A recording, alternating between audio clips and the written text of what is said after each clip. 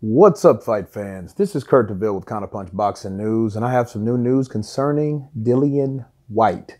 Dillian Whyte said a lot in his last interview with Fight Hub. You know, he was over in the States, and um, in this interview, he simply, they asked him a lot of questions about Anthony Joshua, and he said Anthony Joshua wants easy fights. He said Anthony Joshua wants to maximize his profits. He would do it if he was in the situation, but he doesn't think that he would want to fight Dillian Whyte or himself right away. Um, because he's a money man. You know, he also brought up the $50 million. He would fight Deontay Wilder tomorrow, take his shirt off his back, go two rounds with him, and give him hell. Um, what else did he cover? He also stated that uh, Jarrell Miller, you know, has a good work rate, but he's, you know, the only way he would beat Joshua is he fell on him and sit on him and, you know, and Anthony Joshua wins by disqualification, right? Um, he says he has no power, Jarrell Miller. He says Jarrell Miller would be an easy pick if that fight would happen. He thought he would be the front runner, but, you know, of course, that isn't seem to be the case, but we don't know yet, right? Because my sources say that that fight um, looks like it's going to be done pretty soon between Joshua and Dillian Whyte. Okay. Um, Dillian Whyte also said that, um, you know, a lot of fighters don't want to fight him. He said that he brings more to the table than Joshua's past two opponents. So he knows the infrastructure, he knows the numbers. So he felt, of course, he felt lowballed in the first offer. Um, what else did Joshua say? They asked Joshua about Wilder Fury 2. You know, he gave his account about the first fight. He thought that Fury outboxed him, you know, won by at least two rounds, including the knockdowns. Didn't matter. He said the second fight is going to suck because while Fury knows he can outbox Wilder. Wilder knows he can just catch him on the chin and put him down. What's going to happen, he says, that Deontay Wilder is trying going to try to box Fury, and Fury's just going to dance all around him, and it could be an uh, Klitschko Fury fight all over again. That's how he stated it. You know, fights like that, they're a very cagey, kind of chess matchy like fights. You know, kind of similar to Klitschko, um, Fury, um, Joshua, um, Parker. You know, those type fights. You know, and he said that those type of fights suck. You know, and um, and it makes sense. There is, you know, for me counterpunching that, thinking about what Dillian Whyte said with a possible rematch. Um, Deontay Wilder's trainer already stated that he wanted the knockout to come, not forced. Okay. So if that's the case,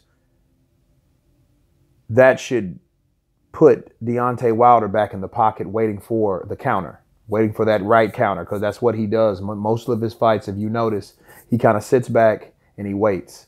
When the fighter slows down, he shoots the right. You know, a lot of times, it, you know, mostly every time it, it it's, it's caught. It's caught its opponent. Okay. Um, but if he tries that with Fury, if he just waits for Fury, Fury will outbox him, will jab him, will use the ring and he will do that all night and he can do that all right all night long. So imagine this guy out of shape like everyone thought he was. Imagine him in shape like everyone knows he will be. That will be a totally different story. That type of fight can be a possible klitschko fury part two because of how it is. Um, Deontay Wilder will try to wait for that right. If he waits for that right, he'll be waiting for that right all night long, getting peppered with that jab, while Fury uses his awkward defense, his quote unquote Mayweather style defense, to circle Deontay.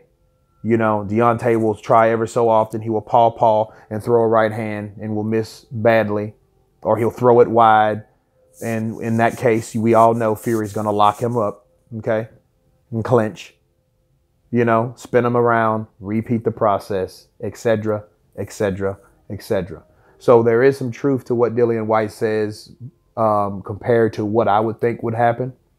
Um, the knockdowns, you know, of course, Fury will be more cautious. However, we don't really know because we have two different trainers in Fury's corner. Now, Fury could take the advice of his young uh, friend and trainer, Ben Davidson. Be cautious, box smart, right? Or he could mix it up a little bit with the instructions, the advice of um, Freddie Roach. Freddie Roach wanted him to be more aggressive. And then if you look at both instructions, they work. They did work at times. You know what I mean? Even in the 12th round when he got dropped, he did go for the straight, you know, the double jab and the straight right.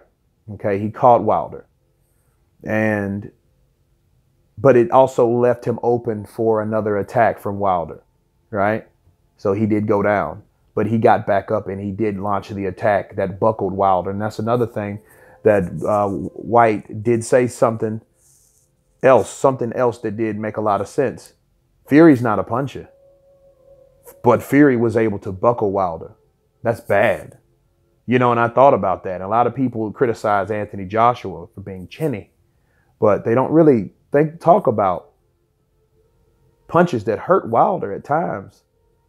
You know what I mean? He's so tall, he's so in the air. A lot of people can't really get to him from how tall he is. So he's safe from a lot of fighters and a lot of punches, a lot of angled punches that could hurt. But coming from someone that tall, you know, and perhaps taller, like Fury's taller. You know, he was able to throw certain punches that could hurt him.